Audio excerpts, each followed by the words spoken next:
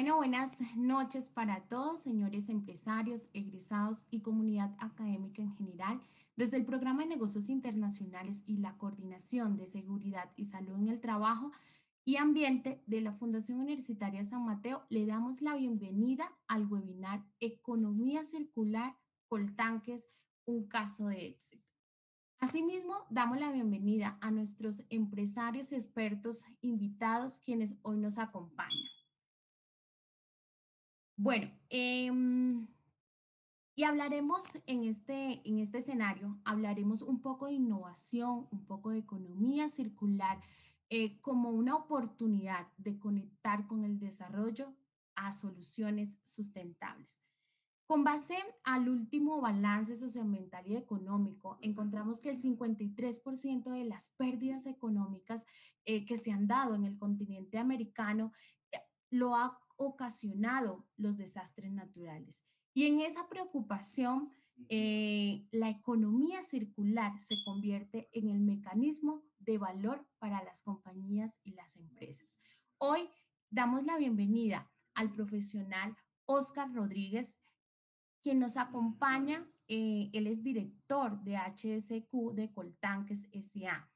Es ingeniero ambiental, magíster en gestión ambiental, especialista en gerencia de seguridad y salud para trabajo, con más de 11 años de experiencias liderando el desarrollo y ejecución de proyectos de gestión ambiental orientados al ciclo de vida e, e implementación de tecnologías limpias en la organización. Ha liderado proyectos de seguridad y seguridad en el trabajo, responsabilidad social corporativa, seguridad vial y calidad, a quienes damos hoy desde la Fundación Universitaria San Mateo la bienvenida y un agradecimiento total por aceptar esta invitación. Por otro lado, nos acompaña el profesional Mauricio Centeno Casas.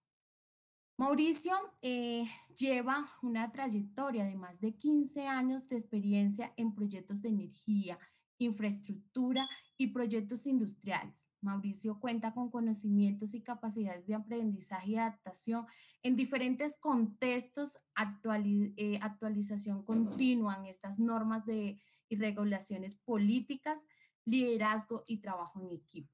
Mauricio asimismo ha trabajado en todo su ciclo de vida con proyectos de infraestructuras industriales en el sector de la producción, eh, desde, también desde el campo de ingeniería, supervisión, eh, construcción de megacentrales de energía hidroeléctrica, eh, desarrollo de soluciones, desarrollo de soluciones circulares para las ciudades, desafíos de movilidad, vivienda sostenible y construcción resiliente. A quien hoy también viene de parte de la compañía como CEO de Camel Hub. Entonces, Mauricio, bienvenido a este escenario eh, de disertación académica y empresarial y damos también nuestros agradecimientos para eh, poder aceptar quienes han aceptado esta invitación. Entonces, no siendo más, vamos a darle paso a Mauricio Centeno, quien hoy nos trae eh, una charla muy, muy interesante respecto a economía circular. Mauricio, bienvenido. Maestra Ciris, muchísimas gracias por esta invitación y por este, abrir como este espacio tan importante en este momento para empezar a entender que la innovación circular eh, no es solamente un mecanismo del cual se empieza a hablar mucho, sino que es una gran oportunidad en términos de reconvertir los negocios, eh, la forma como satisfacemos las necesidades en las ciudades y obviamente reconvertir como todo este sistema de desarrollo eh, de una forma que podamos atajar el, cambio climático y, todo lo que eso conlleva. Entonces voy a compartir mi pantalla. Me cuentas cuando la puedan ver, si la pueden ver en modo completo. Entonces no sé si ya la pueden ver. Perfecto, Mauricio. Perfecto. Bueno, entonces eh, voy a arrancar y listo. ¿Por qué, ¿Por qué poner esta fotografía al inicio? Porque creo que nos encontramos hoy como en una disyuntiva, donde la realidad ya nos mostró la fragilidad que hay hoy en el modelo de desarrollo en la forma como se gestiona el mercado y, la forma de producción. Y a partir de esa realidad que ha sido muy cruda y, muy fuerte, eh, y que aunque ya nos había dado avisos, de pronto no estábamos tan, tan claros que esto era un tema de escala global, hoy sí lo estamos. Y creo que no hay mejor manera de representar el momento que vivimos hoy como justo a la mitad de un túnel. Podemos ver lo que hay al frente, pero también sabemos que hay un camino para llegar allá y que en ese camino tenemos que tomar decisiones eh, que en muchos casos van a ser drásticas y disruptivas con respecto a lo que hacemos hoy, pero que se encaminarán a poder llegar al escenario que tenemos de frente. Antes de comenzar con, con el tema de economía circular, me gustaría hacer como, como una pausa en, en, relacionar estas tres cosas, ¿no? Hoy vivimos en un mundo de tecnología, de una evolución o más bien de una revolución de los datos tremenda, que ha sido muy rápida y en la que quizás no nos hemos dado cuenta de cómo ha cambiado. Estamos en un mundo donde los recursos naturales eh, siguen estando ahí. Hay abundancia en si los aprendemos a ver de otra manera, porque si los seguimos viendo desde el modelo actual, pues obviamente están escaseando. Y finalmente, creo que hoy estamos en el punto de tomar las decisiones para reconvertir nuestro modelo económico de desarrollo no solamente a nivel ciudad o país, sino región y obviamente como planeta, para saber qué le vamos a dejar a la generación que, viene atrás, ¿no? Porque probablemente nos hemos gastado parte de, de, todos los recursos que les tocaría y con los que ellos van a ser productivos y, y van a poderse desarrollar es probable que haya cosas que ellos ya no vean, que nosotros sí tuvimos oportunidad de disfrutar, como el tema de biodiversidad o, el tema de, algunos espacios, algunos ecosistemas. Pero bueno, hoy tenemos la, forma de, incidir en, la realidad y tenemos que empezar a tomar decisiones ya. Bueno, eh, aquí hay un tema muy importante y es que el mundo nos está diciendo tres cosas. Por un lado, que hay, un, hay una pandemia del tamaño eh, global, donde no ha habido una sola persona que no esté siendo afectada y de una forma eh, pues bastante, bastante fuerte. El planeta nos ha venido diciendo hace años que, que está en un punto cercano al no retorno en cuanto a ciertos ciclos naturales y que eso eh, no solamente nos va a afectar en cuanto a las condiciones de vida, sino en las condiciones de producción, que eso es lo más importante desde la mirada de los negocios. Y finalmente hay una juventud, una siguiente generación que nos está diciendo, hey, yo quiero otro mundo, yo quiero otra realidad y tenemos que empezar a tomar decisiones con ellos y para ellos. El gráfico que, aquí les pongo a nivel global, pues es como nuestra región específicamente, la latinoamericana, es una región muy vulnerable, o sea, más vulnerable que otras por las mismas condiciones este, geográficas y que hoy eh, ya empezamos a sufrir los estragos y a tener muchos impactos negativos en la parte social y económica, no solamente a nivel de ciertos recursos, sino ya a nivel de, muchos procesos productivos. Entonces es un, es un momento donde tenemos que voltear a ver otras formas sí o sí. Eh, aquí simplemente les quiero dejar una nota, 53% de las pérdidas económicas se están llevando hoy eh, por recursos, eh, perdón, por desastres naturales. Es decir, estamos alimentando un sistema donde todos los años hay mayores desastres y más agudos y aún así seguimos produciendo la misma vía, sabiendo que mucha parte del dinero que generamos o de la economía que crece va destinada a seguir gestionando estos daños que deberíamos estar mitigando. Esta es una foto que, que me tocó vivirla en, en las Filipinas, pero que no le veo mayor diferencia con muchas de las cosas que están pasando en otras regiones, ¿no? Eh, como en nuestro caso, como en Haití, como en México, como en Chile, como en otros países donde, donde están pasando desastres, el mismo Estados Unidos, etcétera. Entonces tenemos que empezar a pensar si el modelo actual realmente nos está dando resiliencia o es una condición de progreso temporal donde mejoramos las condiciones de vida en un corto tiempo, pero que en el futuro nos están garantizando estas condiciones de sustentabilidad. Bueno, Aquí es simplemente mostrar que, los recursos están, o sea, el planeta eh, va a sonar muy fuerte, pero el planeta no nos necesita a nosotros, nosotros sí lo necesitamos a él. Y los recursos naturales están, los ciclos naturales están. Lo que tenemos que aprender es a entender esas dinámicas en las que la naturaleza trabaja para que nosotros las aprovechemos en la misma, en la misma vía. Porque durante los últimos 200 años hemos empleado como un modo eh, bajo un criterio de que esto es ilimitado y de que siempre va a estar ahí disponible para nosotros. Entonces, hoy nos estamos dando cuenta que no es así y que tenemos que empezar a ver los recursos de una manera distinta, porque al final del día están listos para poder usarse, pero de una manera responsable y que los podamos regenerar una y otra vez en el tiempo.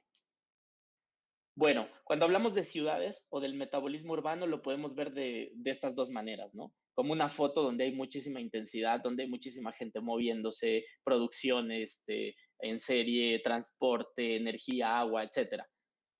Y también la podemos empezar a ver como en términos de flujos. ¿Qué es lo que está entrando a las ciudades y qué es lo que está saliendo? ¿De dónde viene todo esto que entra? Llámese energía, llámese materiales, llámese alimentos, eh, llámese agua. ¿Y hacia dónde está yendo? y si hacia donde está yendo está eh, teniendo una mejor oportunidad de reutilización y de reaprovechamiento, o si lo estamos convirtiendo en un problema para otra población o para otro territorio. Entonces, el modelo de hoy, pues obviamente tiene muchos temas por resolver en esa vía, y ahí es que la economía circular entra a una escala eh, macro, donde podemos entender los territorios de una forma eh, donde hay ciclos, donde hay circuitos, donde se utilizan una y otra vez los recursos y se, y se sanean y se vuelven volver a, recuperar o a regenerar. Eh, y eso poderlo llevar a las escalas pequeñas, a mi empresa, a mi edificio, a mi este, gestión personal, en mis hábitos de consumo, etcétera. Pero todo el sistema funciona, es como si fuera un gran fractal, ¿no? Donde en una pequeña escala eh, tiene una estructura, pero que si uno la reproduce a mayor escala es exactamente lo mismo. Entonces, ¿qué es el metabolismo circular? Poder empezar a retornar todos esos flujos de materiales, de agua, de energía, de todo lo que entra al, circuito de producción, de una forma que se pueda estar recirculando en diferentes vías de aprovechamiento y de, recirculación. Siempre entendiendo que hay un valor, hay un valor asociado a ese recurso y que ese recurso no es un residuo, porque la naturaleza no genera residuos. Entonces, es el, primer aprendizaje que tenemos que, extraer de la naturaleza. Entonces, esos recursos que están a la mano y a los cuales hemos podido acceder siempre, los tenemos que empezar a usar manteniendo su valor en el tiempo y ojalá mejorando esas condiciones de valor, agregándole cada vez más valor en los circuitos que, los decidamos usar. Eh, antes, quizás no teníamos un aliado potencial, pero creo que en 2020 la Big Data y toda la tecnología alrededor de la cuarta revolución industrial, tiene que ser visto como un gran habilitante de la economía circular, donde podamos generar mucho más eficiencia en la producción, donde podemos cambiar la cultura del consumo a través de todos estos mecanismos de plataformas y de tecnología asociada, y donde podemos hacer una trazabilidad eh, muy, muy cercana a todos los procesos y garantizar que se está cumpliendo con todos los temas de sustentabilidad asociados. Entonces, la tecnología hoy se vuelve un gran driver de cómo nos va a ayudar a que la economía circular se vuelva o se adopte en un modo eh, rápido, en un tiempo corto y que lo aceleremos aprovechando todos los beneficios que eso tiene en términos de crecimiento económico y de, de prosperidad para nuestras ciudades. Hoy tenemos que ver el planeta o la tabla periódica de esta manera. Hay muchísimos eh, elementos que se usan en la producción de cualquier cantidad de productos hoy y que poco a poco nos acercamos a una línea donde empiezan a volverse escasos o donde empiezan a complicarse su disponibilidad. ¿Por qué? Porque el modelo actual lo que hace es extraerlos, procesarlos, ponerlos en un producto y finalmente van a un, sitio de disposición final. Ese modelo lo que está causando es que cada vez haya menos recursos eh, disponibles y más recursos descartados.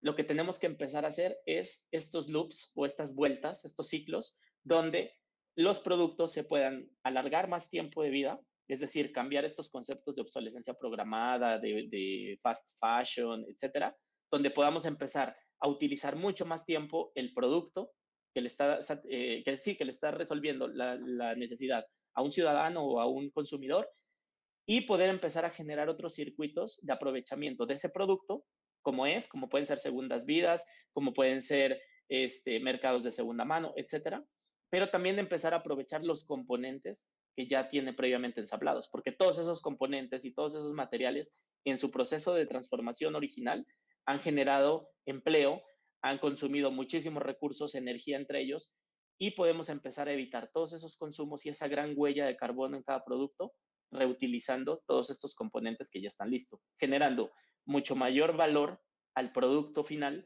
y además ahorrando eh, costos operativos de una forma dramática para las organizaciones. Cuando nos preguntamos qué va a pasar con el post-COVID y dónde vamos a encontrar las formas de, resolver eh, ese futuro, pues aquí hay muchas formas de resolverlo, de recuperarnos económicamente desde el mismo proceso y desde empezar a tomar decisiones distintas en el diseño de un producto donde yo estoy predefiniendo desde su conceptualización que lo voy a poder aprovechar en diferentes escalas, porque lo voy a poder desarmar, porque lo voy a poder eh, remanufacturar, reacondicionar, etc. Bueno, cuando hablamos de ciudades circulares, eh, tenemos que hablar de estos dos grandes componentes, ¿no? El concepto tecnológico, smart cities, instrumentación, data, eh, tecnología aplicada a diferentes procesos para volverlos súper eficientes, pero también un componente de innovación circular. Empezar a hacer diferentes los procesos, empezar a cerrar estos ciclos o hacer estos circuitos de conexión donde un recurso no va a perderse en un, en un espacio de disposición final, donde empieza a retornar para generar nuevamente eh, valor a través de otros productos o a través de otros servicios. Es decir, una y otra vez estar aprovechando un producto. Pregunta, eh, y se las dejo ahí como, como en, en la mesa.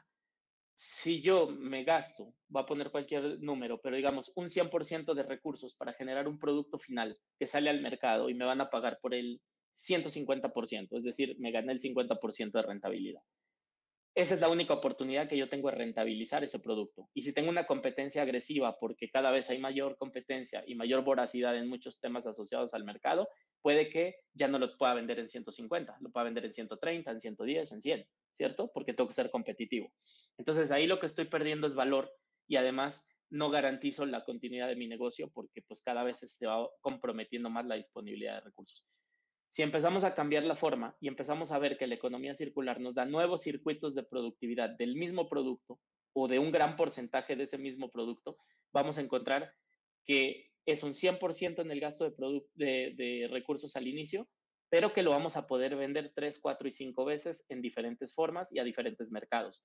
Es decir, vamos a poder venderlo a 200, 300, 400% el mismo producto.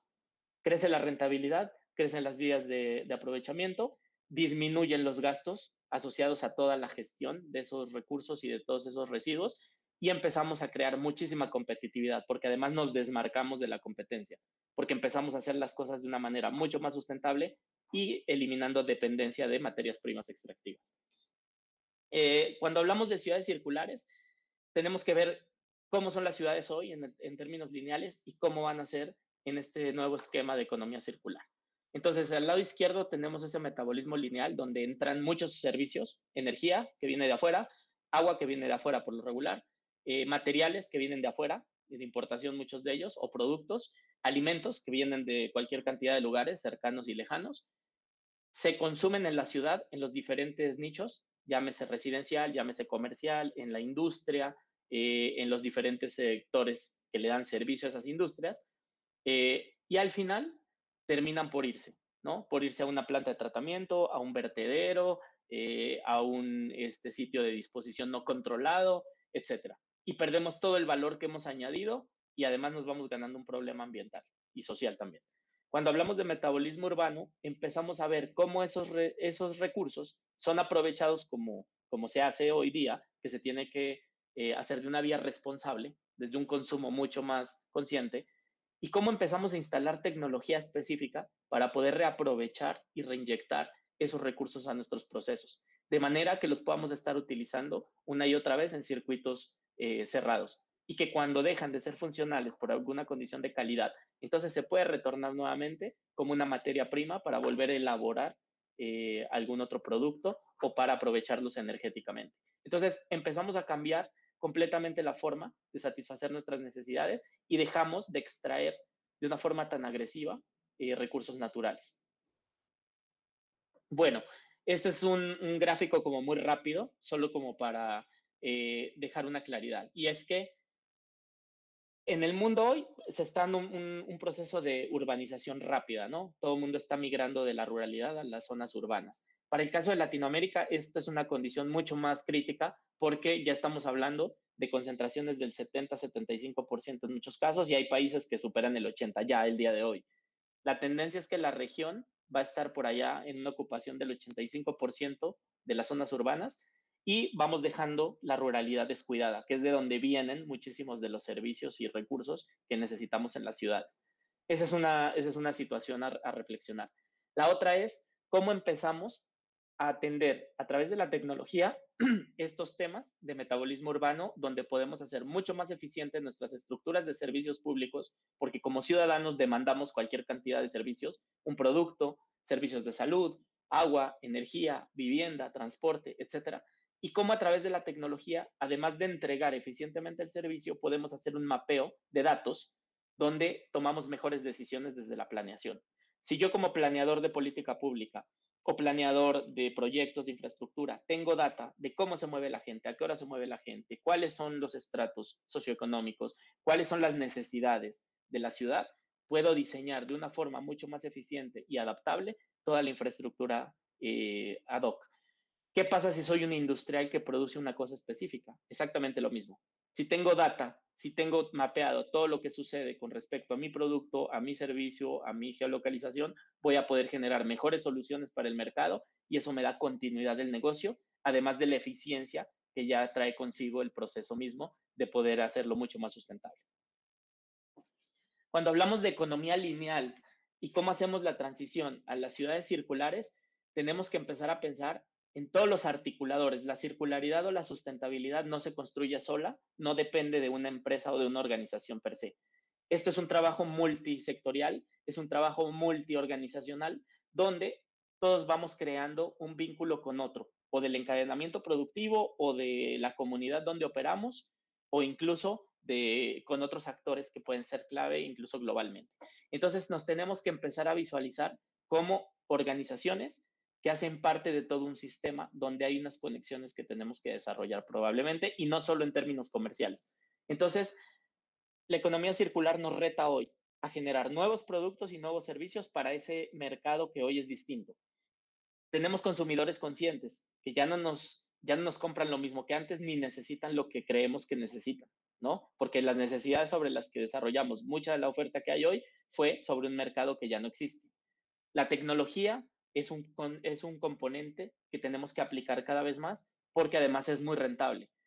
Y tenemos que empezar a cambiar los, eh, nuevos modelos de comportamiento. Nosotros desde el modelo de negocio, desde el eh, diseño del producto o del servicio, estamos predefiniendo el comportamiento que va a tener ese usuario en el futuro. Entonces, también es una decisión que nosotros vamos tomando y no ser, eh, no ser reactivos a que cuando el mercado me lo pida, yo lo desarrollo. Es al contrario. Si, y voy a poner un ejemplo que no necesariamente es circular, pero sí disruptivo, y es que el comportamiento que tenemos hoy frente a las plataformas de movilidad es un comportamiento que lo definieron ellos. Si ellos hubieran esperado a que la gente lo pidiera, hoy seguiríamos moviéndonos de la misma manera que hace 10 o 15 años. Incluso los temas de política pública han sido una, un empujón eh, a raíz de la dinámica que se da en el mercado y que no estaba debidamente regulada. Entonces tenemos que aprender de eso para entender que hay muchas oportunidades hoy y que las podemos tomar en cualquier momento. Y las nuevas formas de trabajo es un reto porque hoy las personas están siendo capacitadas, educadas y entrenadas para trabajar en un mundo que está dejando de existir. Tenemos que instalar capacidades y competencias en temas de tecnología, en temas de sustentabilidad y en temas de innovación, porque esas son las personas que se van a encargar de darle forma a la cultura de nuestras organizaciones y que van a transformar la forma en que estamos haciendo los negocios hoy.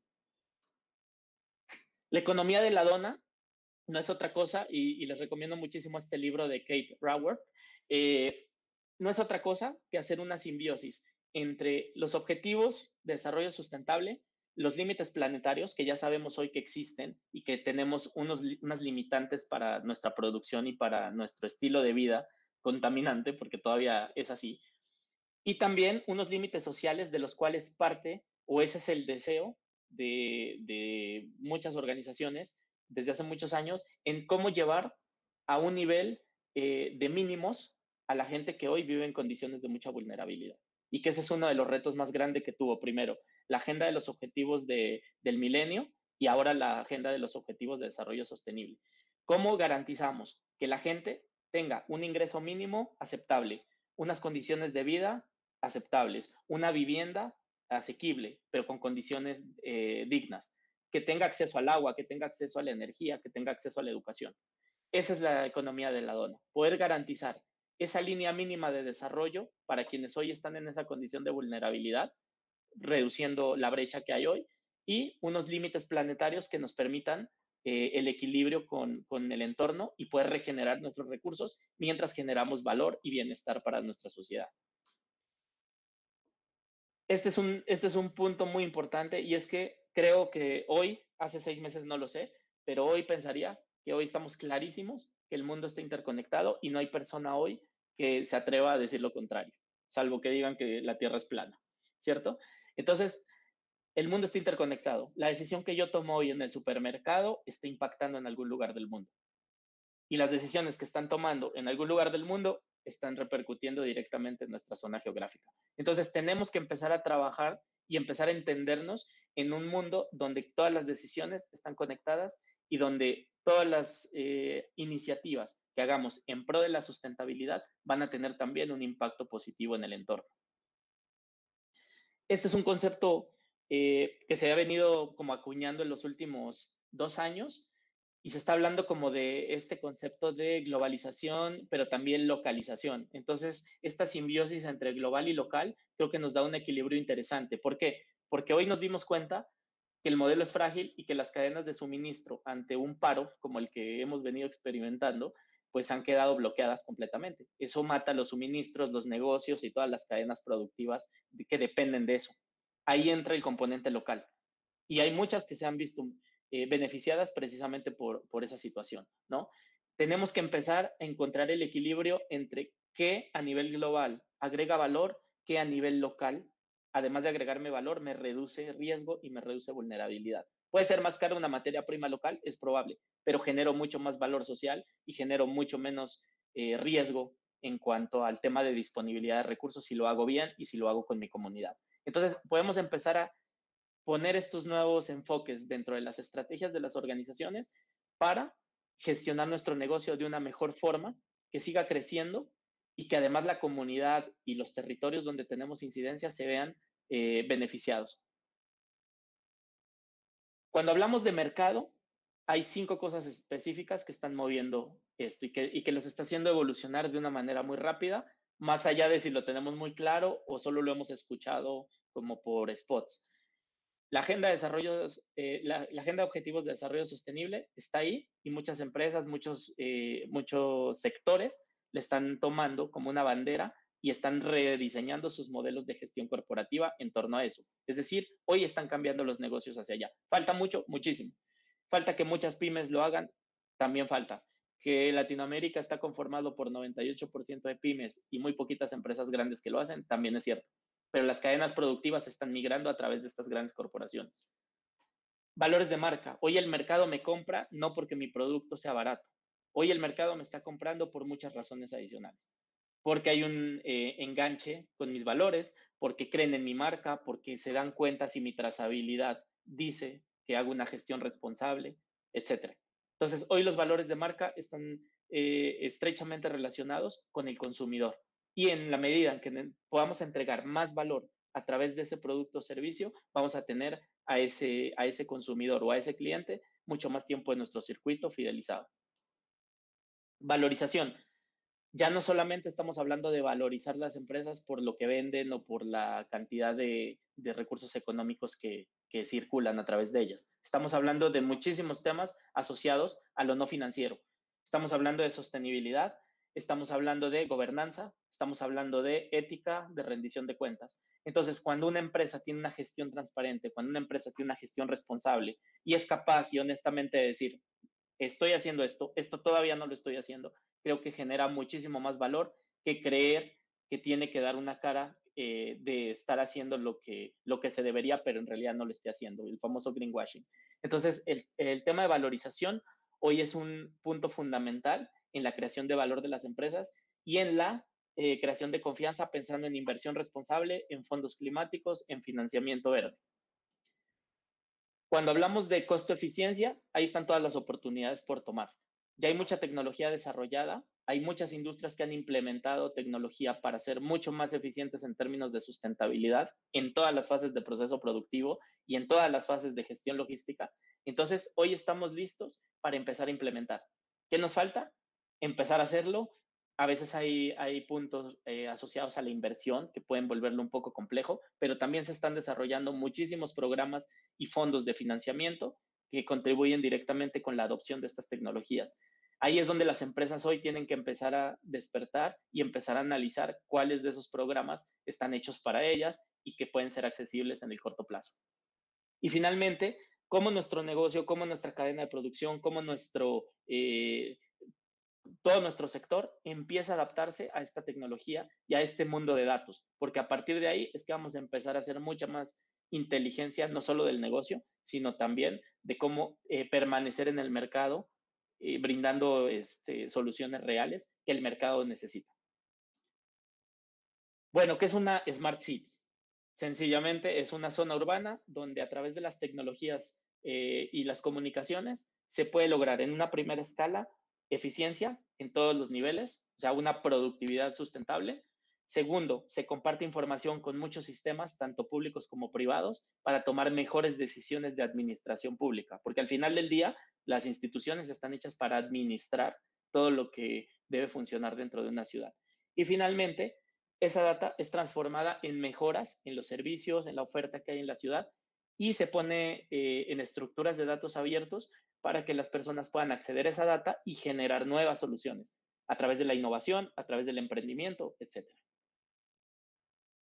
Cuando hablamos de sistemas inteligentes y resilientes, no podemos entenderlos si no tienen un componente de inclusividad. Inclusividad significa que si la ciudad no nos está ofreciendo las mismas oportunidades para cualquier persona, más allá de su condición física o de su condición psicológica o de su salud o de sus preferencias o de su religión, entonces quiere decir que no hemos hecho la tarea completa. Todos los sistemas de una ciudad tienen que estar disponibles para generar las mismas oportunidades a todas las personas. Entonces, cuando hablamos de economía circular, haciendo como un recuento de lo último, es, primero, hoy estamos parados en una economía de extraer, fabricar, consumir y tirar, donde perdemos valor y generamos impactos. Hay una economía que se habla del reciclaje, que es importantísimo decirlo, economía circular no es reciclaje, el reciclaje contribuye en algunas cosas, pero no es reciclaje.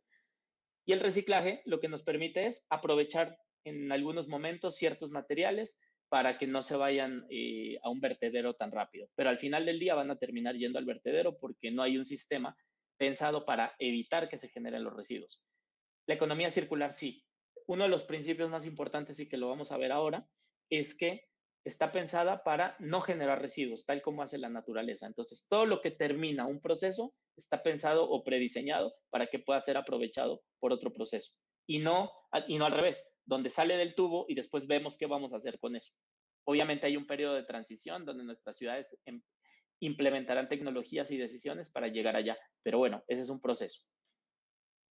¿Qué es la economía circular? Tan sencillo como decir que la naturaleza no genera desechos lo que termina su vida útil de una forma, entra y se regenera y se reincorpora a otro ciclo de vida. ¿Qué pasa si la lechuga se daña?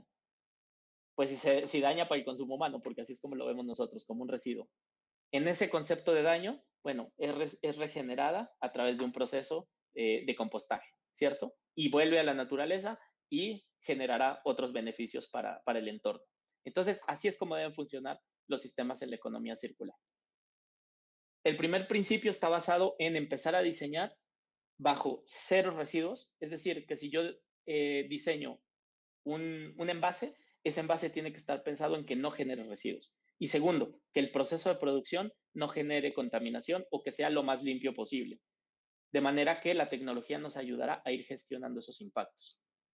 Segundo, mantener los productos y los materiales en uso eh, la mayor cantidad del tiempo posible y que se pueda ir incorporando en diferentes circuitos. Es decir, yo tengo un aparato electrónico, lo uso todo el tiempo que se pueda, después lo usa alguien más que quizás necesita menos servicios que yo, y después se puede ir reaprovechando, desarmando. No sé, uso la pantalla, uso la cámara, uso este, la funda, etc. Y finalmente, cuando ya no sirvan todos esos elementos después de varias vidas útiles, entonces los puedo reutilizar como materias primas, reincorporándolos a la cadena de producción. Pero nunca fueron a un tiradero ni a un vertedero. Finalmente, ¿cómo regeneramos los recursos y los sistemas naturales? El agua que entra, se procesa, se usa. ¿Por qué hay que, porque hay que sacarla? No, al contrario, hay que retornarla, hay que sanearla, hay que tratarla, hay que hacerle diferentes procesos para poderla reincorporar a ciclos de riego, de producción, de consumo, etc.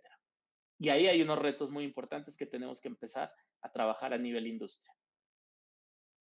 Cuando hablamos de, de, industria circular, tenemos dos tipos de recursos, los recursos biológicos y los recursos técnicos. ¿Cuáles son los biológicos? Pues todos los que se pueden reincorporar prácticamente sin, sin, mayor proceso de industrialización a la naturaleza. Es decir, yo tiro una cáscara de banano y eh, se puede regenerar y el, el suelo la, la, volverá a reincorporar a su proceso natural. Materiales, productos o componentes que tienen muchos procesos de industrialización que la naturaleza no podría biodegradar por sí misma son considerados como recursos técnicos. Y para ellos hay una serie de circuitos que podemos reaprovechar, desde reparación, remanufactura, reacondicionamiento, reciclaje y finalmente eh, algún aprovechamiento energético si es el caso. Que de preferencia, pues es, la idea no llegar allá, pero hay, ciertos materiales que hoy día no podemos más que aprovechar de esa manera. Entonces tenemos que ver todas las oportunidades de negocio que hay en estos circuitos porque cada una de estas vueltas significa rentabilidad. Este es un ejemplo eh, muy claro de hoy estamos inundados de, por ejemplo, de residuos electrónicos y eléctricos en África, en México, en Colombia, etcétera. Pero esto se va a volver la nueva minería. Ya, hay eh, empresas como Apple que están entendiendo que es mejor evitar toda la cadena de extracción para terminar en estos vertederos y poder desde el diseño predefinir el aprovechamiento de estos eh, elementos específicos.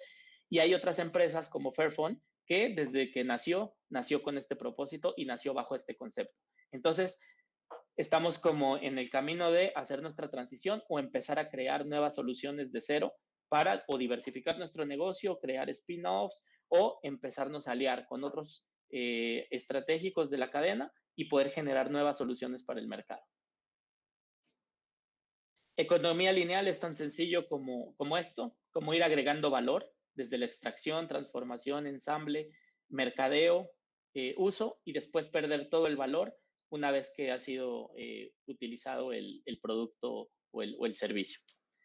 Economía circular es tan sencillo como una vez que logramos tener el producto en el mercado, extender su vida útil, donde podemos vender muchas cosas más para generar mayor valor. Ejemplo, un celular vale tanto, pero también valen muchísimo los servicios que, que son intangibles durante el uso de ese celular. Entonces podemos empezar a encontrar vías de valorización durante el uso y podemos encontrar otras vías de revalorización una vez que el producto en su primera vida eh, ha terminado como el ciclo. ¿Por qué? Porque se seguirá reaprovechando en otras vías y seguiremos generando valor una y otra vez. Estos son simplemente unos casos que, me gusta mucho mostrar porque habla de la innovación, el ingenio y, y, el recurso que está disponible, pero que a veces no lo vemos. Y es una empresa colombiana que se llama Containers, que ellos utilizan estos contenedores que tienen una caducidad pero que pueden estar en muy buenas condiciones eh, y que hay contenedores de 6 pies, de 12 pies, etcétera, y ellos los convierten en espacios aprovechables para trabajo, para el bienestar, para el turismo. Eh, por ejemplo, aquí han hecho unas unidades de refrigeración que facilitan muchísimo el, manejo de ciertos eh, elementos e incluso ante la, ante la pandemia han podido decirle al gobierno, mira, yo te puedo hacer una solución para todos esos territorios donde no hay una clínica hoy disponible o donde hay camas insuficientes, porque yo lo puedo habilitar en cuestión de días eh, con mi sistema, con mi ingeniería y lo puedo llevar a cualquier lugar de, del país. Llámese una vereda, llámese una zona de riesgo, llámese una ciudad, a un barrio, etc. Entonces, vemos como las empresas que nacen con estos principios de diseño fácilmente se pueden adaptar a las nuevas condiciones y generar mucho valor, más allá de si son empresas pequeñas o grandes. Ese es otro modelo y es un modelo eh, basado como en estas plataformas de, de, oferta y demanda, que de esas hay muchas, ¿no? Encontramos en el sector turismo, en el sector este, vuelos, en el sector eh, alimentos, en el sector intercambio de usados, etcétera, pero que cuando las orientamos desde el intercambio de activos que ya están ahí disponibles, que alguien ya compró y que le están costando dinero todos los días, porque tiene que pagar impuestos, tiene que pagar mantenimiento, etcétera, pero que los puede poner al servicio del mercado. ¿Cuántas empresas de construcción, por ejemplo, hay hoy que tienen mucha maquinaria y equipo, pero que si están paradas no, están utilizando y que además están representando como un drenaje de recursos? Hoy estas plataformas tecnológicas permiten conectar esa oferta eh, de, de, productos o de servicios por tiempo específico a un mercado que los demanda también por un tiempo específico. De manera que hay un gana-gana. Yo no tengo que comprar un activo para tenerlo guardado, pero simplemente voy y utilizo el tiempo que necesito ese activo. Este es un caso de, de una ciudad en Estados Unidos eh, y esta es una iniciativa que nace para recuperar y generar un nuevo mercado de materiales eh, para que puedan ser reutilizados y, recomercializados dentro de, la, dentro de la ciudad. Y ha sido un modelo como tan rápido de, de adoptar y de replicar que esto empezó en una ciudad y ahora ya se encuentra en otros cuatro a nivel estatal, ¿no? En Ohio, en Massachusetts, etcétera. Entonces, podemos encontrar que este modelo de plataforma donde se ponen al servicio materiales de diferentes industrias que son recursos aprovechables y que están ahí en conexión de oferta y demanda, pueden generar rápidamente ingresos, ingresos considerables. Estamos hablando de transacciones de mil dólares eh, cada transacción, ¿no? En la fase piloto y eso pues por un volumen pequeño de materiales, pero sobre todo los impactos que eso puede generar a nivel ciudad. Primero, la administración pública no se tiene que preocupar por costear toda la operación de disposición de muchos materiales porque hay un mercado para ellos. Y segundo, se está beneficiando de las emisiones evitadas y de todas las, eh, todo el volumen de materiales que están llegando a un, a un vertedero o que están generando eh, contaminación de mantos acuíferos, de suelos, de aire, etc. Finalmente, les quiero dejar eh, esta plataforma esto fue un evento que organizamos el año pasado, se llama CEFA, con una organización que se llama la Plataforma de Economía Circular de las Américas, y ahí tenemos eh, unas mesas, unas sesiones largas con gente de diferentes regiones del mundo, donde pusimos en común todos los temas relacionados con economía circular, innovación, ciudades este, circulares, eh, desarrollo tecnológico, desarrollo de materiales, etcétera. Y cómo las industrias de aquí pueden ir aprendiendo en cómo ir aplicando y cómo ir escalando esas soluciones al interior de sus procesos. Muchísimas gracias. Bueno, Mauricio, pues muchísimas gracias por esa excelente intervención. Eh, me quedo con que las organizaciones, las empresas, tienen que ser parte del sistema, en donde el contexto global y la economía circular nos reta a un trabajo colaborativo, a un trabajo eh, multisectoral, multidisciplinar en pro de la sustentabilidad. Y en ese mismo sentido, eh, queremos conocer un poquito qué está haciendo la industria y para ello hemos eh, invitado a Coltanques Oil and Gas para que nos cuenten un poquito cuáles son las medidas que han venido tomando eh, ¿qué están desarrollando en pro de la economía circular y la sustentabilidad? Y en todas esas fases que eh, nos mencionaba Mauricio en cuanto a los procesos logísticos, en cuanto a sus procesos productivos, ¿qué están haciendo? Entonces, damos la bienvenida a nuestro experto invitado, el director Oscar de Coltanques.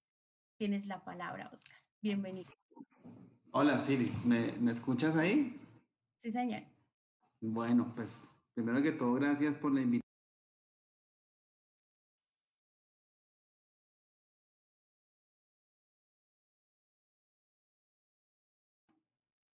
Ahí. Ok. Ya, ya iba terminando. No, mentiras.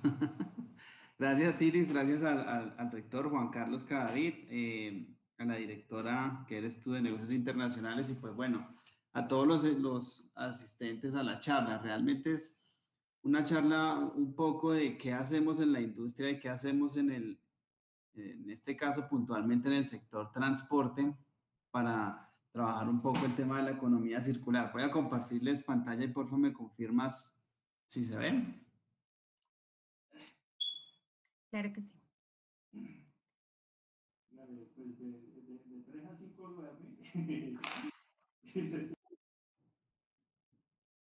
Está cargando.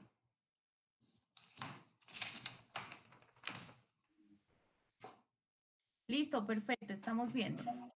Bueno, entonces, eh, como lo mencionaba Siris, pues yo voy a hablar desde Cualtanques.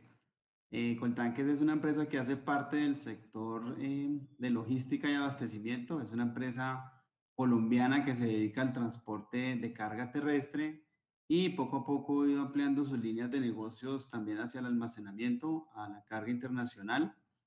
Y hoy en día queremos ser un, operador 4PL. No, no es fácil la tarea, pero ahí vamos para ello. Eh, como lo decías, mi nombre es Oscar Rodríguez, soy el director HCQ de Coltanques. Eh, dentro de las divisiones que lidero, pues está todo el tema de gestión ambiental y desde allí miramos el, cómo hacer para mitigar ese impacto que generan los residuos. Un poco y, mencionando, teniendo en cuenta lo que decía Mauricio, tenemos dos opciones. Una que es al final del tubo y es mirar qué podemos hacer para devolvernos y lograr hacer que todo, todos esos insumos y materias primas tengan una reconversión, quizás tecnológica, quizás de sus mismos insumos. O la segunda es hacia adelante y es con, con las actuales generaciones y las futuras empezar a, a mirar qué hacemos para generar em, materias primas, equipos, empaques y demás que no solo sirvan para un uso, sino que también se puedan vincular a nuevos ciclos de vida.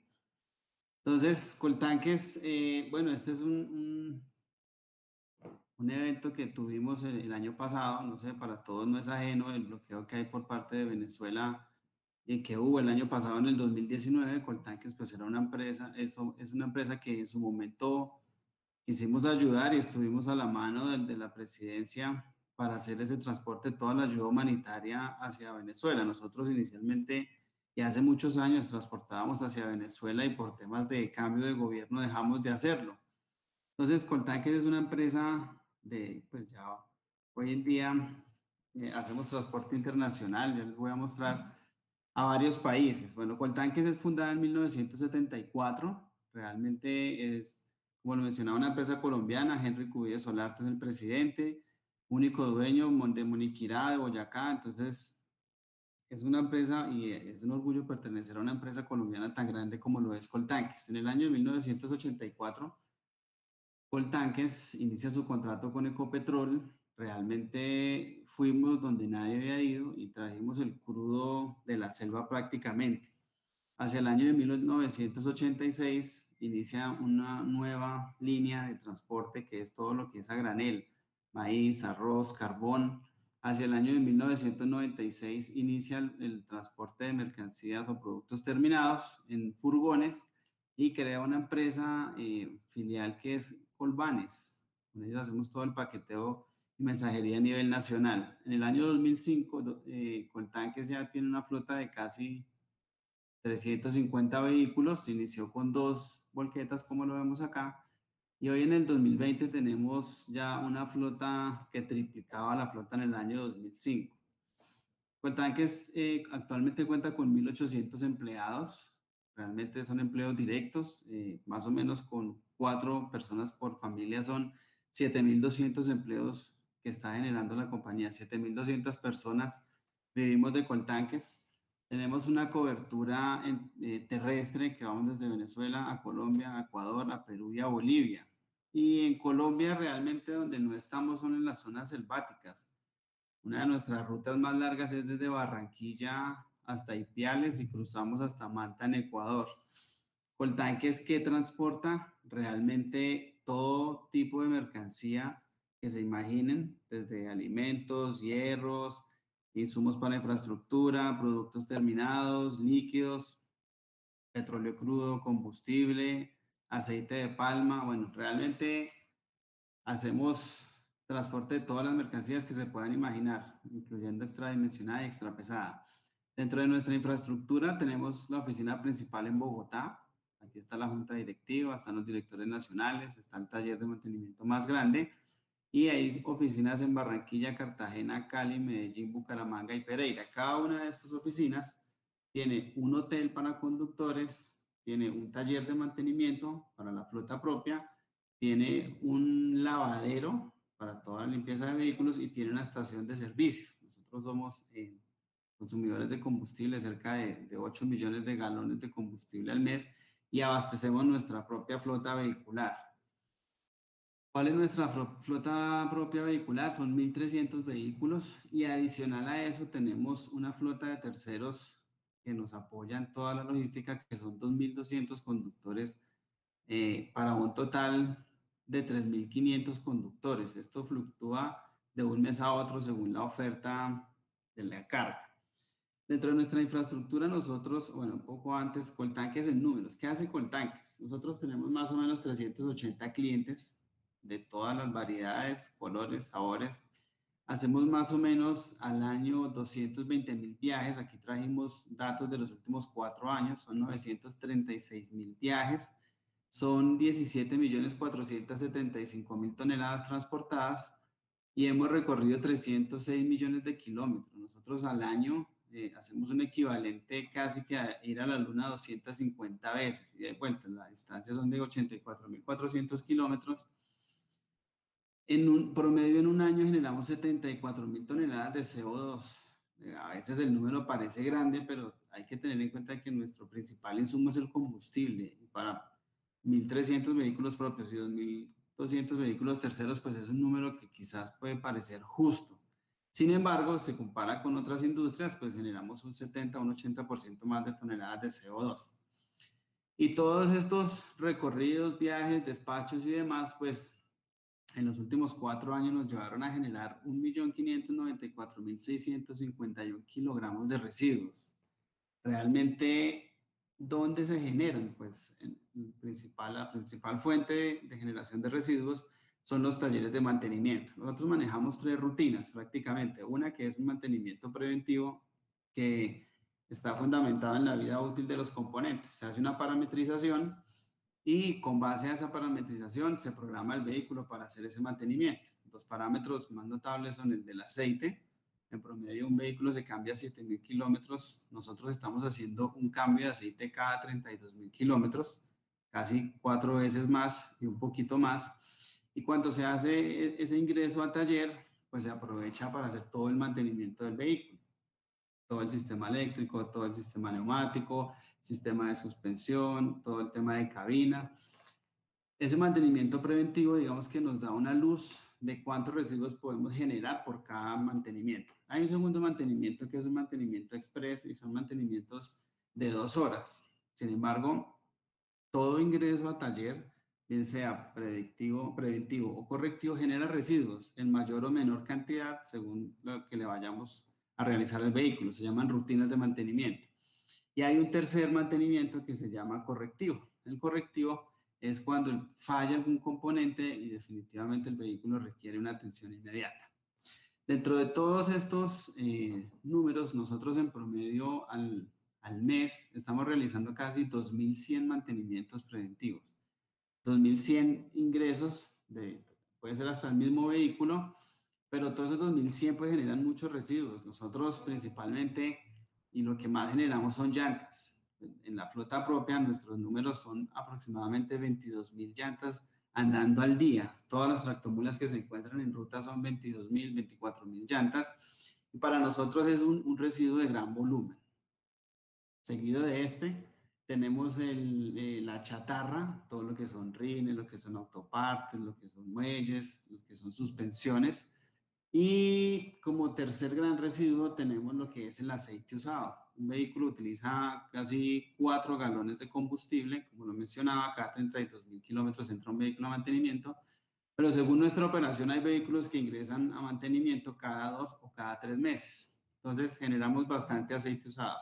Ya hay otros residuos como baterías, cada vehículo tiene tres, tres baterías. Tenemos los RAES en menor cantidad, son residuos de aparatos eléctricos que están en las oficinas. Hay plástico, papel, cartón, hay luminarias, hay lodos de lavado de los vehículos, pero son en términos generales residuos más pequeños. Hacia el año 2005, el, el Ministerio de Ambiente en su entonces emitió el decreto 4741 que hablaba del Plan de Gestión Integral de Residuos. Y en el año 2008 sale la resolución 1299 que crea el Departamento de Gestión Ambiental. Eh, hay una gran diferencia entre empresas multinacionales y nacionales. Las empresas nacionales han ido un poco de la norma y han ido un poco de sus mismos clientes, mientras que los clientes o las empresas multinacionales pues ya tienen unos estándares de casa matriz, tanto de Estados Unidos como de Europa, donde van un poco allá más de la norma. ¿Por qué menciono las normas? Porque en la industria colombiana la norma eh, se vuelve en un debe y ante el debe los empresarios inician con una serie de actividades que al menos los obliga a cumplir dentro de sus funciones, pues lo mínimo como para no tener que algún lío legal. ¿Qué hacía Coltanques en ese entonces con sus residuos? ¿Qué hacía Coltanques con todo lo que estaba generando?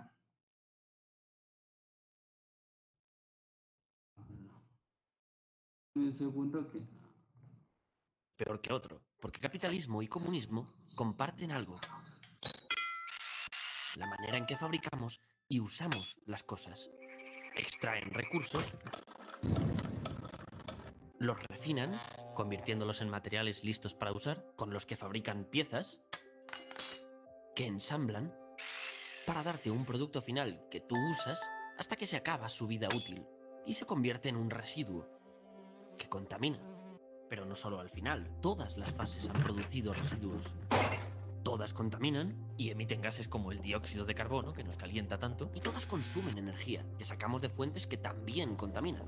Además, algunos productos también emiten residuos. Una vez acaba la vida útil del producto, el proceso se activa otra vez.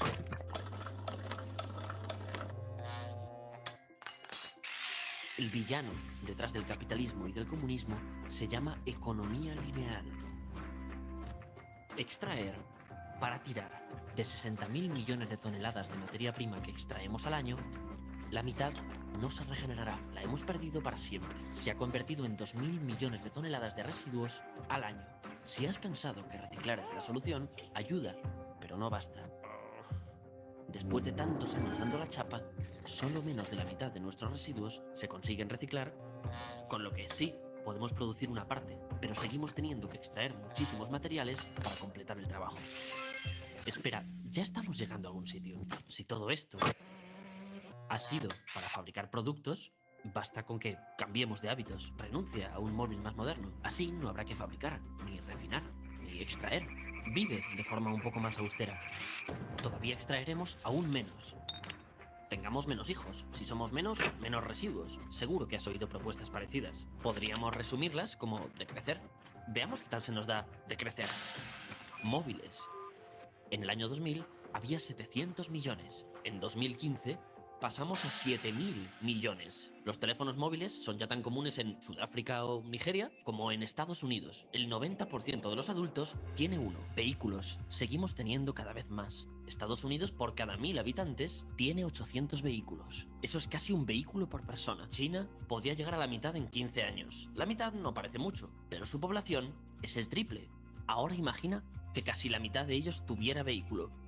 Como ya sabes de dónde vienen las cosas, te puedes imaginar que para superar los 400 millones de vehículos hemos emitido mucho, mucho, mucho CO2, el gas que nos calienta y pone tristes a los osos.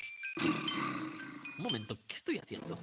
Había dicho que creía que podíamos salvar el planeta y todo eso. Llevamos ya la mitad del vídeo y ¿qué te he contado? Uno, el planeta se va a la mierda. Dos, la culpa la tiene cómo fabricamos las cosas, la economía lineal. 3. En realidad yo no debería hablarte de esto porque estos mensajes los has oído un millón de veces. 4. A la vista de las cifras lo que sí nos interesan son los coches y los móviles. Vale. Yo te dije que te iba a contar una historia que te interesaba. Este vídeo ya no va de salvar a los osos, va de móviles. Te voy a decir cómo conseguir tu siguiente móvil más barato. Y el siguiente. Y el de después. Y de alguna manera eso va a solucionar el problema de los osos. Y para eso tenemos que volver a cómo se fabrican las cosas. ¿Recuerdas? Extraer, refinar el material, fabricar componentes y ensamblarlos en un producto que usamos y tiramos. En el proceso llenamos el mundo de mierda. Ojo a esto. Aquí estás tú. Cuanto más nos alejamos de ti, del usuario, más caro va siendo todo. Estas primeras fases cuestan un huevo y cuanto más extraen, cuanto más refinan, Cuantas más piezas fabrican, cuantos más productos ensamblan, más dinero se gastan las empresas. ¿De dónde crees que recuperarán ese dinero? Del precio de tu móvil, claro. Y este móvil ya sabes en lo que acabará convirtiéndose. En un residuo. Ahora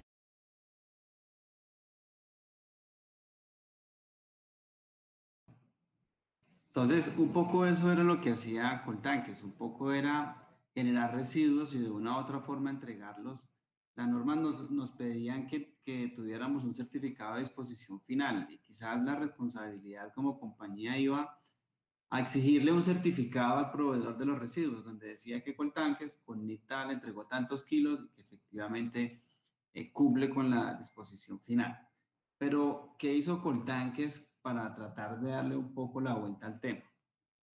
El camino no es fácil, realmente la cultura latinoamericana y la colombiana eh, estaban dadas un poco a, a, buscarle la comba al palo o, o, cómo hacer lo mínimo para cumplir. Bueno, Coltanques en el año 2012 se certificó con el estándar ISO 14001, que es el estándar para el sistema de gestión ambiental, y empieza a recibir auditorías. Estos son estándares voluntarios, las empresas que quieren se acogen a ellos e inician una serie de actividades en pro, en nosotros o en nuestro caso era para eh, disminuir nuestros impactos y mirar cómo hacer para mejorar nuestras relaciones con el ambiente. En el año 2014 se certifica Coltanques en huella de carbono. Es un estándar, el ISO 14064, y desde el 2014 empezamos a compensar el 100% de nuestras emisiones. El año pasado eh, compensamos 74 mil toneladas y al contrario de lo que hacíamos con los residuos, esta vez nos fuimos al proveedor y miramos qué estaba haciendo con la plata, dónde estaba invirtiendo, dónde estaba sembrando los árboles, validamos el proyecto y pudimos constatar que no es solo una acción de pagar, que realmente hay que ir hasta el inicio o hasta el final de la cadena para asegurarse que realmente sucede. En el 2016 eh, nos certificamos en SEDEX ESMETA, es un estándar internacional enfocado en la ética empresarial y la responsabilidad social empresarial. Continúa contribuyendo con nuestras buenas prácticas y desde el 2012-14 veníamos trabajando en el PREAD, Programa de Excelencia Ambiental Distrital de la Secretaría de Bogotá, pero esta diferencia de las otras no es tan voluntaria. Aunque yo me acoja, realmente el dado que es una entidad gubernamental, me exige cumplir el 100% de los requisitos legales, con un adicional que te invita a generar eh, eh, iniciativas que lleven a una mejor gestión. Finalmente, el año pasado nos certificamos con CO2 con un sello que se llama Verde de Verdad y realmente es para empresas que tienen iniciativas por voluntad. Entonces, en, en, busca de esa economía circular, y como lo mencionaba, nosotros aquí ya teníamos la actividad en desarrollo, debíamos buscar qué hacer con nuestros residuos independientemente de lo que estuviéramos haciendo. En esa, en esa búsqueda de qué hacer, encontramos que el 93% de nuestros residuos podían volver al ciclo del producto o podían ser parte de otro ciclo de vida.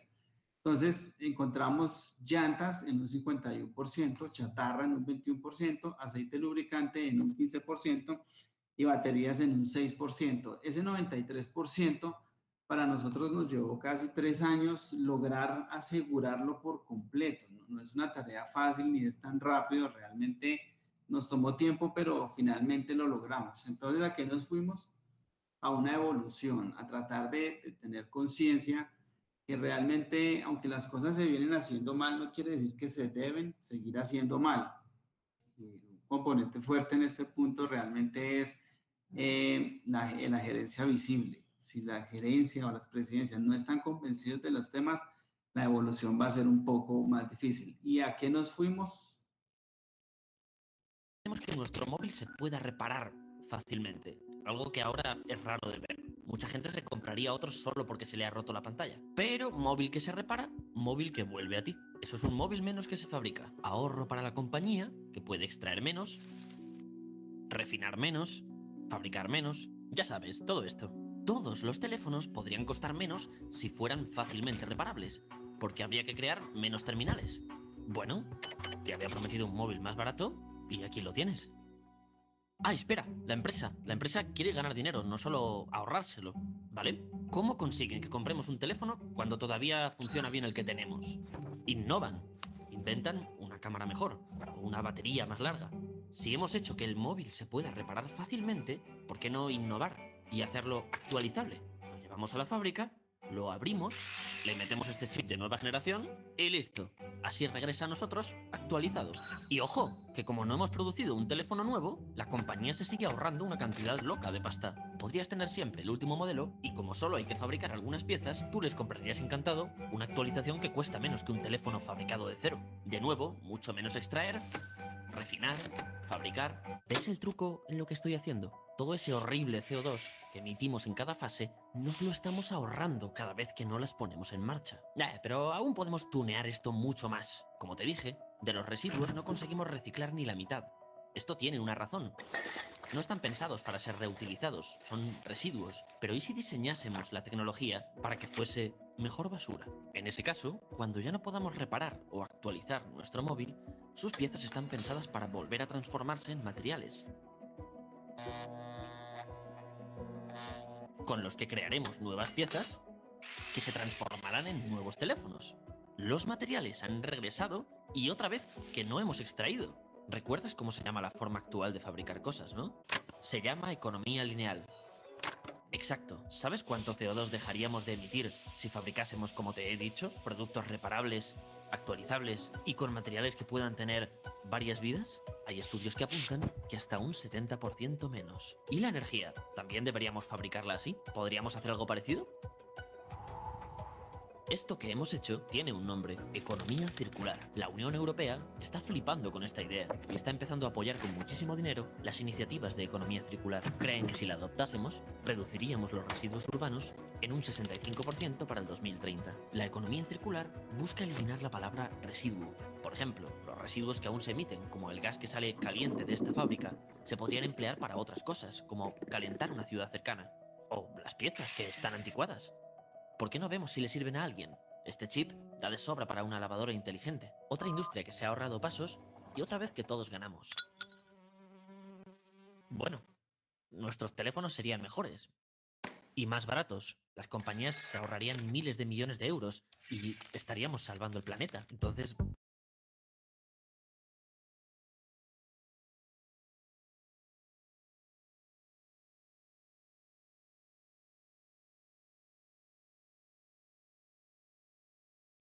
Se cayó, se cayó, Mayday. Ahí estás, eh, ahí estás, Oscar.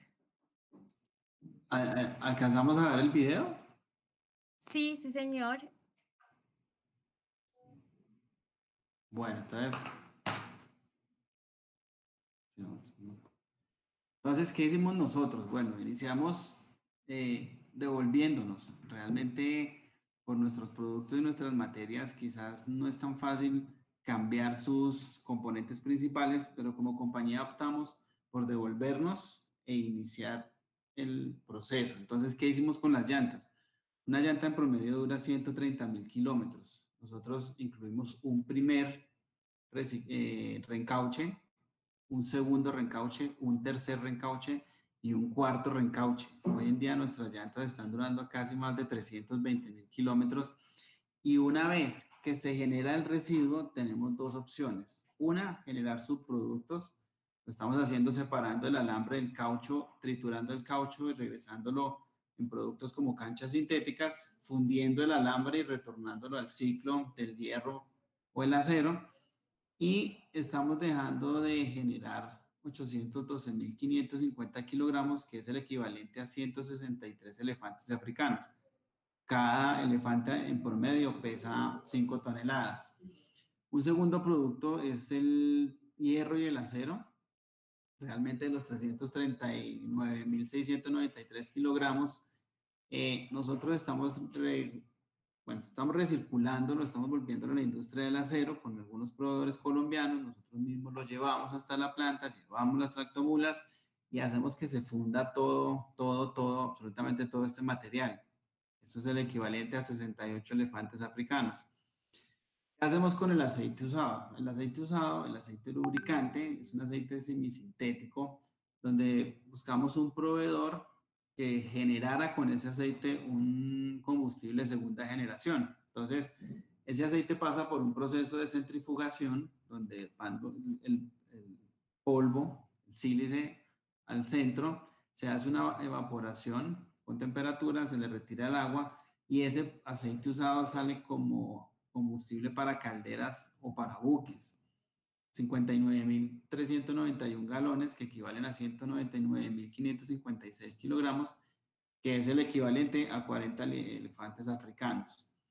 Y las baterías de plomo, realmente todas las baterías son el 100% reciclables. Sus tres principales componentes, que son el polietileno, pues es triturado, se vuelve a sacar un pellet y ese pellet nuevamente pasa a ser caja para baterías. El plomo, pues es fundible, entonces lo que se hacen son nuevas placas de plomo para baterías nuevas y el electrolito, que es una suma de agua destilada con ácido sulfúrico, se compensa nuevamente y se genera una batería. Nosotros lo estábamos haciendo con, con nuestro proveedor.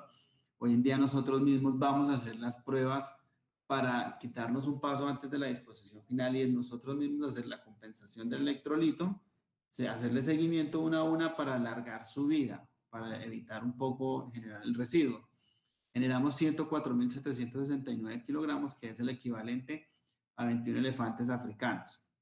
Con esos residuos que nosotros estamos incluyendo nuevamente a ese ciclo de vida, estamos ahorrándonos 1.497.251 kilogramos de materias primas para generar nuestros propios insumos durante los últimos cuatro años, que es el equivalente a, en peso a 300 elefantes africanos. Como lo decía, ese 93% nos queda un 7%.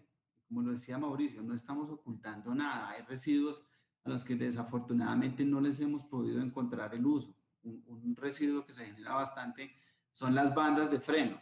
Anteriormente se generaban bandas, nosotros generamos 4 toneladas de bandas al mes y anteriormente eran en benceno que eran tóxicas y cancerígenas. De ahí pasamos a unas bandas que son en fibra de vidrio que no son contaminantes, pero que realmente no son tan sencillas de disponer o de vincular a un nuevo proceso eh, o a un nuevo ciclo de vida. Es un residuo que desafortunadamente tenemos en la mira. No es fácil, pero todos los días trabajamos para vincular nuevos residuos. Los RAES efectivamente se están descomponiendo a lo mínimo, como el ejemplo del video, y se están incluyendo en nuevos, eh, nuevos equipos, eso lo hace un proveedor.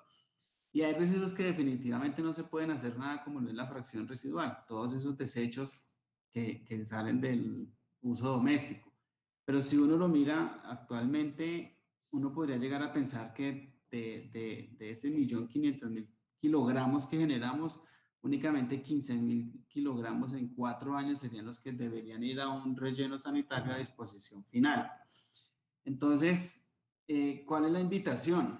Realmente eh, estuve hablando con un cliente que genera plástico mundial y es uno de los principales generadores y hablábamos acerca de si el plástico era bueno o malo. Yo, yo estoy de acuerdo en que el plástico es bueno. Realmente el plástico lo tenemos en absolutamente todo, pero lo malo es la disposición final que estamos haciendo.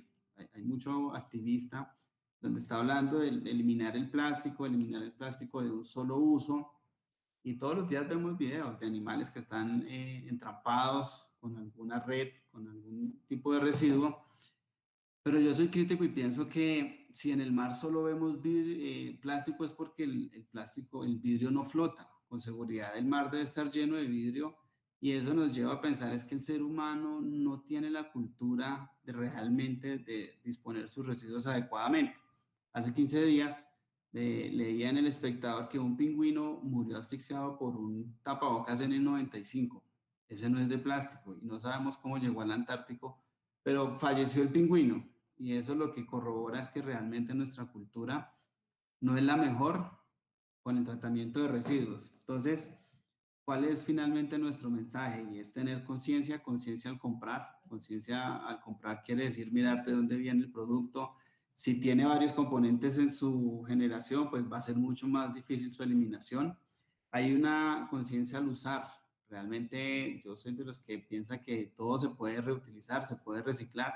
Y finalmente, pues está en nuestras manos. Eh, a veces uno piensa que no, pero de gota en gota se va llenando el vasito y estoy seguro que, que eso puede cambiar si todos nos, nos subimos al mismo bus, a la misma tractomula y todos nos vamos por la economía circular. Eso quería contarte y bueno, contarles a todos en la presentación. Bueno, pues muchísimas gracias. Muy interesante todo lo que está desarrollando Coltanques. Eh, esas buenas prácticas en pro de la sustentabilidad que, en definitiva lleva a gestionar esos nuevos proyectos, esos nuevos procesos logísticos y productivos. Entonces, por acá eh, ya tenemos en línea nuestros dos a nuestros dos participantes expertos. Ya Mauricio, mejor dicho, está que alza la mano. Y bueno, Mauricio, adelante.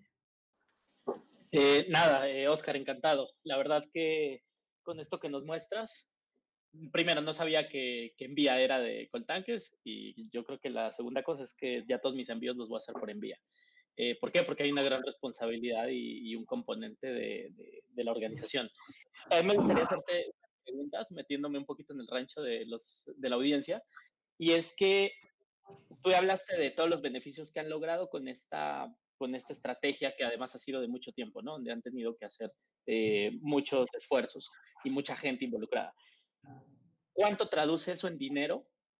Eh, ahorrado, eh, recuperado, etcétera. Pero, es la primera pregunta. O sea, ese millón y, medio de, de, toneladas, ¿a cuánto equivale en dinero? Y la segunda pregunta es, ¿qué pasaría si eso que ustedes revalorizan hoy bajo unas condiciones de mercado que son no las mejores, porque pues te compran las cosas los pocos gestores que hay, etcétera, ¿qué pasaría si hubiera un mercado de revalorización donde te pagaran mucho mejor por los materiales y donde hubiera realmente prácticas de mercado de intercambio?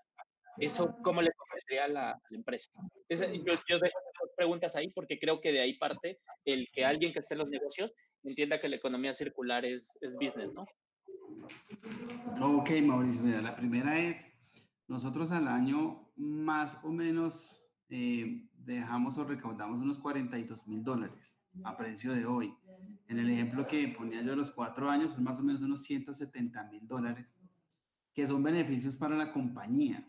Y, y ahí amarro un poco la segunda pregunta. Resulta que en Colombia pasaba algo particular y era que las baterías tenían o tienen un precio en el mercado negro donde realmente era 15 mil o 20 mil pesos. Un poco lo que hizo el gobierno fue lanzar una norma post-consumo, ¿cierto? Hacer responsable al generador del producto y a través de esa post-consumo exigirle que recogiera unas metas anuales donde empezaron con el 30, 40, 50, 60, 70 y los grandes productores tienen esa obligación de recogerla. ¿Qué pasó?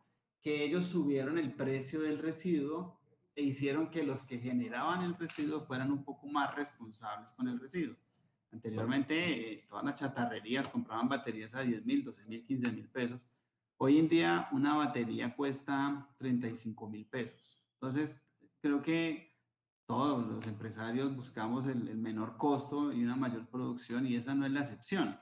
Ahora, con respecto al, al, al, intercambio de residuos, aquí en Colombia hay algo que se llama la BORSI, que es la Bolsa de Intercambio de Residuos, ¿cierto? Eh, yo he ofrecido las bandas de frenos, no ha sido fácil. Realmente Colombia hace muy poco fue que hizo el cambio de benceno por, por fibra de vidrio, eso no estoy mal, hace cuatro o cinco años, y aún no hemos podido encontrar cómo volverla al ciclo de vida, pero tampoco hemos encontrado cómo incluirlas en un nuevo ciclo de vida. Con seguridad, si, si empezara a darse ese intercambio de residuos, seguramente se va a llegar a, a un cero en ciertos ciclos productivos.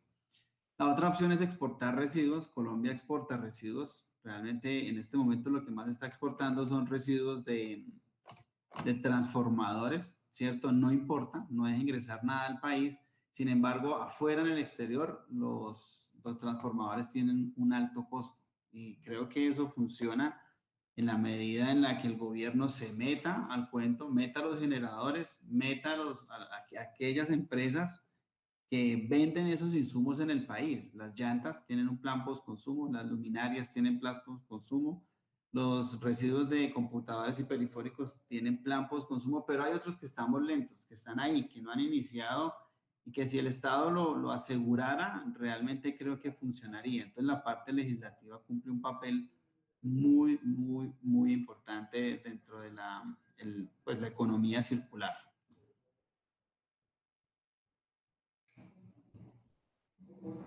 ¿Está bien?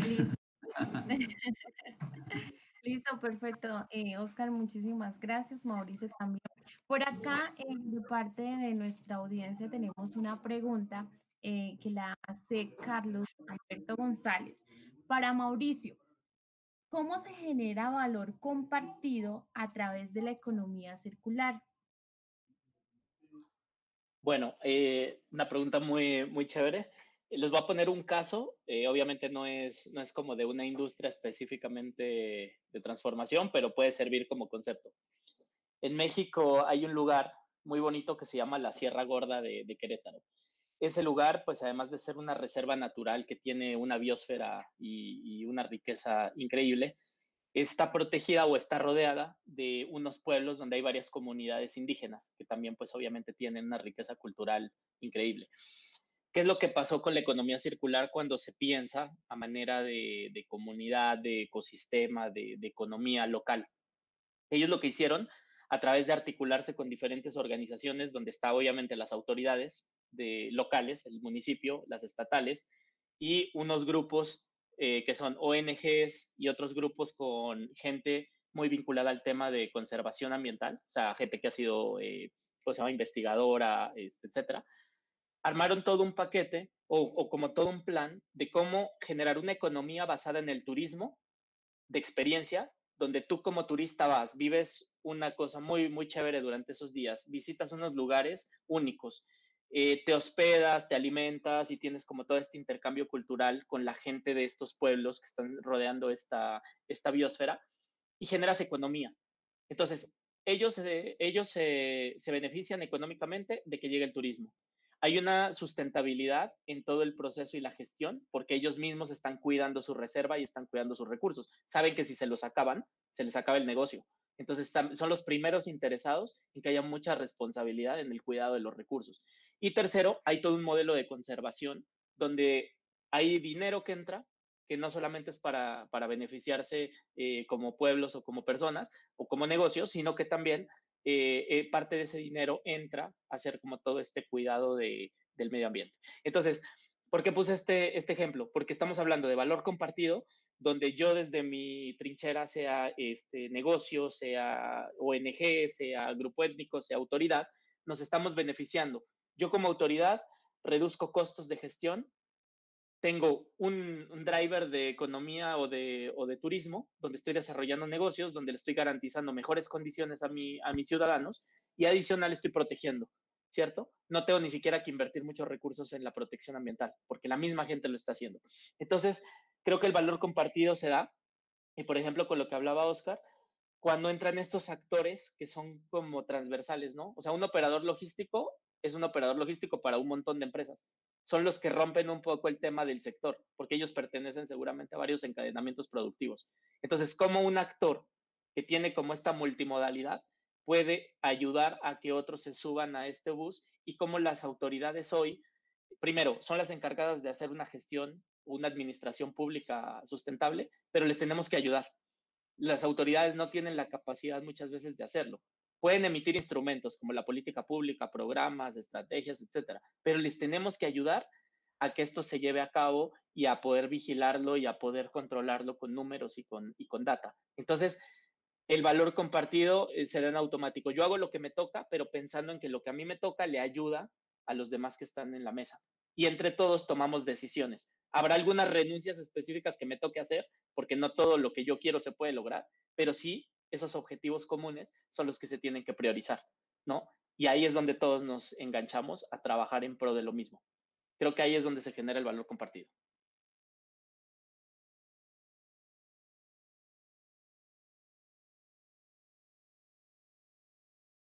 Listo, bueno, perfecto, Mauricio, muchísimas gracias. Eh, bueno, por acá tenemos otra pregunta eh, y esta pregunta eh, la realizan para Coltanques. Eh, ¿Cuáles han sido las estrategias que han, perdón, sí, ¿cuáles, sido la, ¿cuáles han sido las estrategias que han tomado para ponerse de acuerdo en temas de sustentabilidad al interno de la compañía? Bueno, un poco, eh, bueno, entiendo de qué hacer para que se vuelva un pilar en la, en la compañía. para que la sustentabilidad haga parte de la compañía tiene que ser visible incluso desde la medición.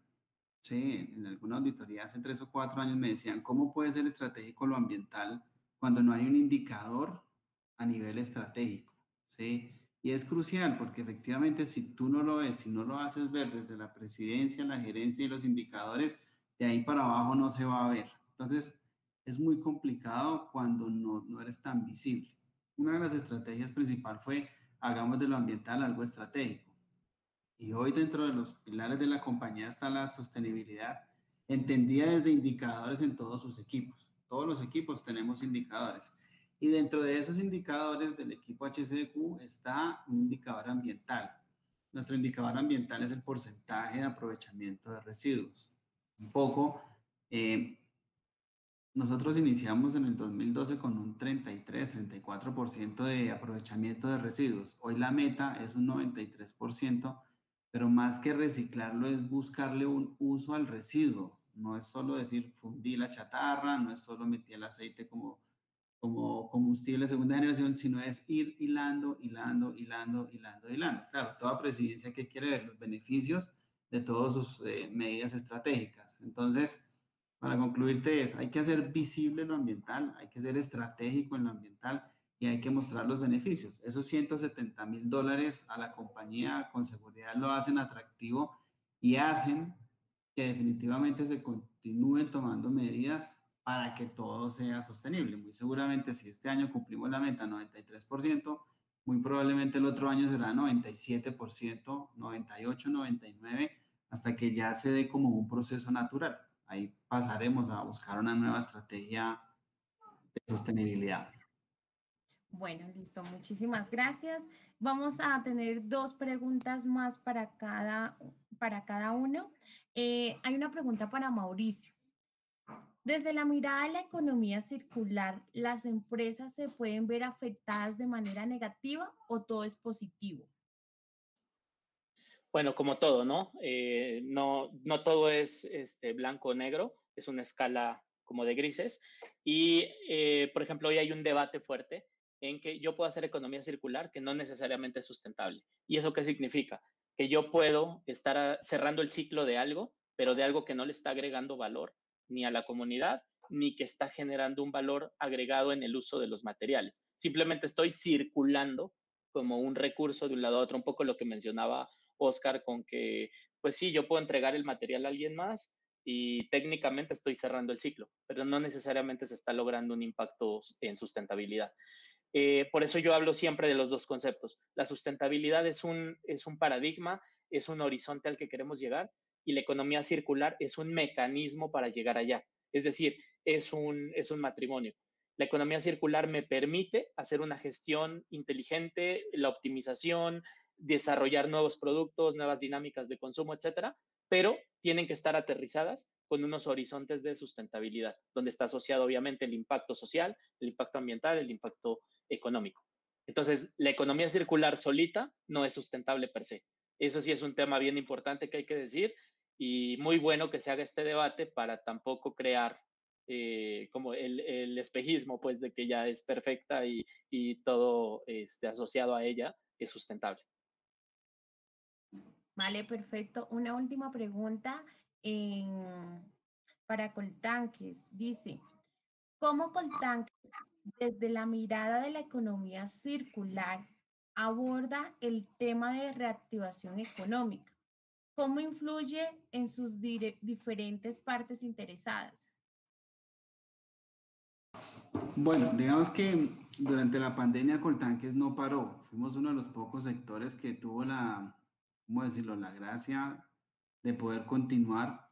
Eh, todos estamos, hacemos parte de la cadena de abastecimiento y mientras haya generadores de carga va a haber transporte, mientras haya transporte de consumidores finales. Nosotros como Coltanques durante nuestro, bueno, estos seis meses de pandemia, eh, continuamos haciendo mantenimientos de vehículos, continuamos generando residuos, continuamos entregando residuos y estos a su vez fueron entregados a sus proveedores que mantenían la economía, ¿no? Pues habían muchos sectores, incluso la misma fundición eh, estuvo detenida cerca de un mes, las plantas de fundición en Colombia, pero nosotros seguíamos y seguíamos generando residuos. Entonces, dos cosas.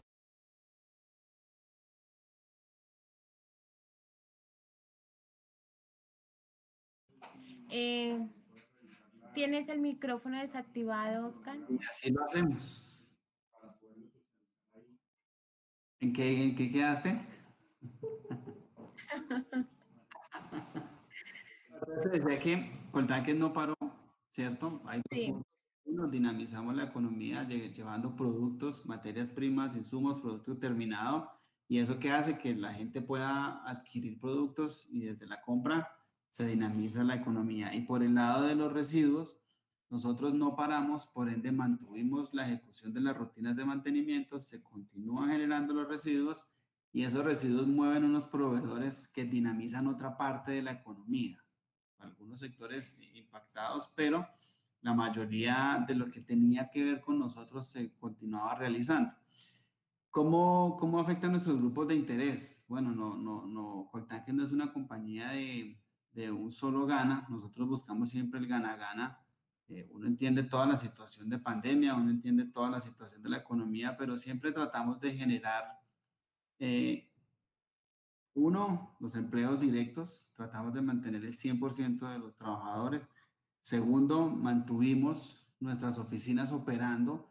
Toda área de influencia del proyecto pues va a tener actores, ¿cierto? Que están comprando. Siempre que hay un conductor hay un vendedor de tinto, de cigarrillos, de almuerzos, de comida, de lo que sea. Entonces, eso mueve algunas economías locales muy puntuales. Y tercero, pues nuestros proveedores a su vez mueven una tercera economía, un tercer nivel de la economía, llamémoslo así, que era a quienes entregaban sus productos.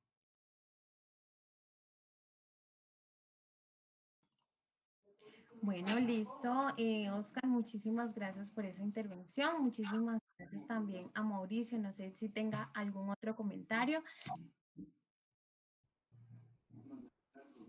Pues Iris, agradecerte por el espacio, muy chévere la, la charla y pues la verdad que muy, una muy grata este, experiencia escuchar lo que ha hecho Coltanques. Como toda empresa habrá otros retos que tengan que seguir trabajando y ya están en eso, ¿no? Entonces, bien chévere ver que hay, hay liderazgos de empresa que se están montando a, a este tema. Así es. Oscar, ¿tienes algún comentario para cerrar? No, yo finalmente pues agradecerte el tiempo, el espacio, a todas las personas que estuvieron en la charla, Mauricio, un excelente expositor, un tema muy interesante, eh, muy bueno si pudiéramos encontrarnos más adelante, creo que los contactos los podemos hacer a través de, de Ciris y pues no, un tema muy apasionante, realmente poder dedicarle el tiempo y el espacio debe ser muy chévere. Nosotros como compañía nacional tratamos de liderar lo que hacemos en todos los aspectos. Eh, pues no, ¿qué te digo? Muchas gracias por, por todo. Listo, bueno, perfecto. Pues Mauricio y Oscar, eh, dos, rep dos, representantes, dos empresarios, eh, dos eh, grandes expertos en la materia, pues agradecemos muchísimo a Coltanques y a Camel Hub por eh, aceptar esta invitación y muy probablemente continuaremos con esta, estos escenarios que en definitiva eh, aportan mucho al desarrollo empresarial y académico. Entonces, muchísimas gracias a ustedes por aceptar esa invitación y bueno, estaremos en otra oportunidad. Muchas gracias a todos también. Hasta luego. Chao, gracias.